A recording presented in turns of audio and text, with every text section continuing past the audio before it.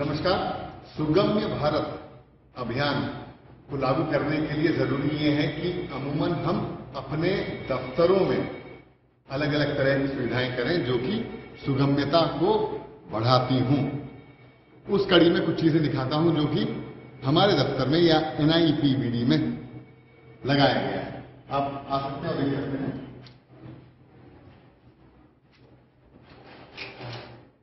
जब आप दफ्तर के अंदर आते हैं तो पहली चीज़ जो आपको नज़र आती है, वो आती है नेम प्लेट तो नेम प्लेट को कैसे सुगम्य बनाना है? ये नेम प्लेट है, और इस नेम प्लेट में आप देख रहे हैं कि बड़े छापे में या लार्ज प्रिंट में छपा हुआ है लेटर्स और ये एक कॉन्ट्रास्ट बैकग्राउंड में है। ये कॉन्ट्रास्ट बैकग्राउंड नीले पे सफ़ेद का है, जो कि इंटरनेशनल स्टैंडर्ड्स में है। हिंदी में लिखा गया है, और ठीक इसके नीचे ही ब्रेल में लिखा गया है। और उसके नीचे अंग्रेज़ी में लिखा गया है।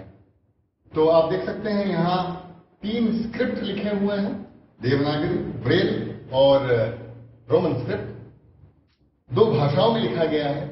कई लोग होते हैं जिन्हें कि इस नाम का उच्चारण नचिकेता राउत इसका उच्चारण नहीं आता तो वो लोग इस क्यूआर कोड को स्कैन कर सकते हैं और इस क्यूआर कोड को स्कैन करने से नाम का सही उच्चारण समझ आ जाता है। विशेषकर जो विदेशी होते हैं, उनके लिए बड़ा सहयोगी होता है और उपयोगी होता है ये क्यूआर कोड। जैसे हम अंदर जाते हैं, ये एक दूसरा ढंग है नेम प्लेट का, जिसमें कि गोल्डन के ऊपर एम्बॉस किया हुआ है। कई कॉम्बिनेशन हो सकते हैं।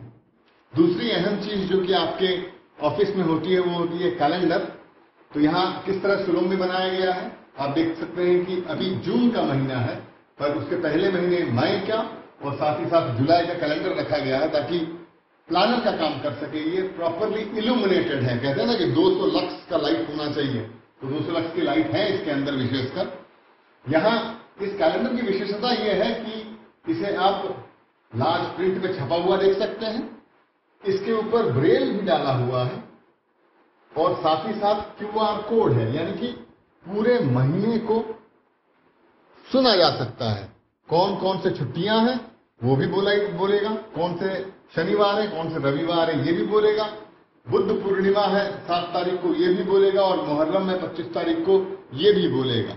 तो आप इस कैलेंडर को देख सकते हैं, छू सकते हैं, सुन सकते हैं। और इसमें लार्ज प्रिंट और इल्यूमिनेशन का ख्याल रखा गया है। ये विशेषता है।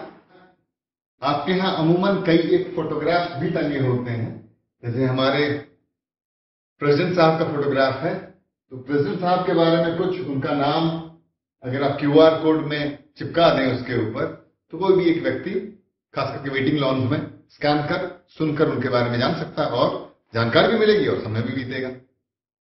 आगे जब आप ऑफ़िस में आते हैं, और कुछ चीज़ें जो कि आप सुगम्य बना सकते हैं, जैसे कि ये टेबल टॉप है, और इस तरफ़ आप अगर देखें तो अंग्रेज़ी में ये लिखा हुआ है तो ये भी हुआ, triscriptal Roman Devanagari, Braille, bilingual और ऑडिटरी फॉर्मेट में।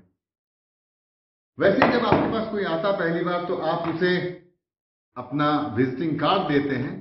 ये विजिटिंग कार्ड कॉन्ट्रास्ट कलर में छपा हुआ है, अंग्रेज़ी में है और इसके ऊपर ये ट्रांसपेरेंट सीट लगाए गए हैं, जो कि ब्रेल में नाम को और डेजिग्नेशन को और पते को लिखते हैं। पीछे अगर देखें तो हिंदी में लिखा हुआ है और साथ ही साथ क्यूआर कोड है, जो कि इस कार्ड की पूरी समरी को बताता है यहाँ। तो इस तरह विजिटिंग कार्ड को भी सुगम्य बनाया जा सकता है। टेबल के ऊपर अमूमन एक डेटर रखने की आवश्यकता होती है।